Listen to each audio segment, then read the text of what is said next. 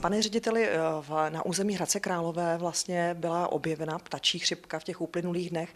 Eh, pojďte našim divákům prozradit, u kolika uhynulých kusů vlastně ptactva a jaký je ten aktuální vývoj teď momentálně. Eh, takže v Královéhradském kraji, respektive v Hradci Králové, byl potvrzen virus ptačí chřipky u dvou kusů uhynulých labutí. Vzhledem k tomu, že se jedná o volně žijící ptactvo, tak eh, my jsme přestali monitorovat eh, prostor mezi Hučákem a eh, Soutokem, protože tam ten virus koluje.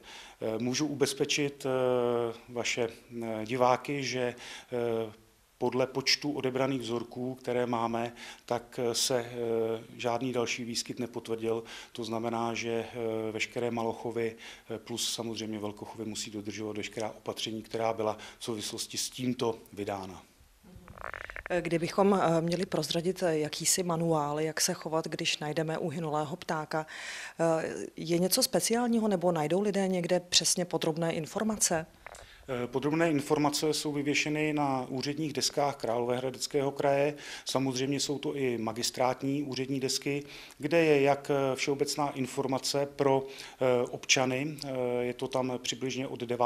ledna, tak samozřejmě na úředních deskách jsou i mimořádná veterinární opatření, kde se občané mohou seznámit s telefonním kontaktem, kam hlásit případný nález uhynulého volně žijícího ptáka nebo ptactva, podle toho, jestli by jich tam tam bylo víc. Takže samozřejmě eh, na internetu lze všechno dohledat, samozřejmě i vytištěno na úředních deskách, kdy jsme požádali o vyvěšení těchto informací do konce ledna. Pokud by se situace nějak eh, změnila, tak samozřejmě eh, budeme tyto informace sdělovat dál občanům.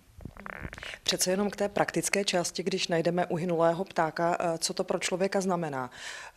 Nemá na něj šahat, má raději volat odborníka. Eh, přesně tak, máte pravdu. Eh, v žádném případě eh, se uhynulého ptáka nedotýkat těch malochovech, eh, které můžou být také postiženy, pokud nebudou dodržovat veškerá opatření, tak samozřejmě zabalit do igelitu s tím, že vyčkat eh, příjezdu úředního veterinárního lékaře, který si eh, vzorek odebere, udělá místní šetření a případně rozhodne o dalším postupu. U těch volně žijících samozřejmě zavolá na telefonní kontakty, které jsou uvedeny na daných dokumentech, které jsem před chvíličkou citoval a samozřejmě v součinnosti s dalšími složkami my opět vyzvedneme daný uhynulý kus jakoby úřední vzorek a ten je odeslán do Národní referenční laboratoře. Eh, pane řediteli, kdy naposledy se ve východočeském regionu objevila ptačí chřipka?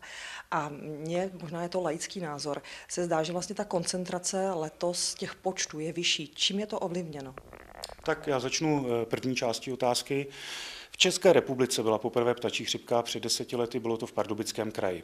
V Královéhradeckém kraji eh, samozřejmě ta ptačí chřipka je letos poprvé ve své historii a samozřejmě eh, na vaší druhou část otázky zodpovím eh, Došlo k tomu, že se nakombinovalo několik faktorů, eh, které mají vliv na případný úhyn eh, ptactva a na vyšší eh, pozorování našich občanů. To znamená, jsou mrazy, sníh, ptactvo nemá takový přístup k potravě, eh, může docházet eh, k problémům, mají jiné zdravotní problémy a uhynou.